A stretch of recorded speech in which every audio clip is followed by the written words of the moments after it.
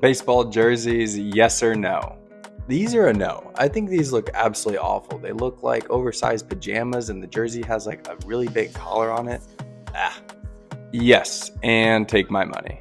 The old school D backs purple and teal is honestly one of my favorites. Zac Gallen wore it a few nights ago, and he voted that they should wear it more often. I think it would actually be cool if the Diamondbacks did a rebranding and went back to the purple and teal. These uniforms are absolutely disgusting, and I love them. Um, I still need to figure out where to get one of these hats.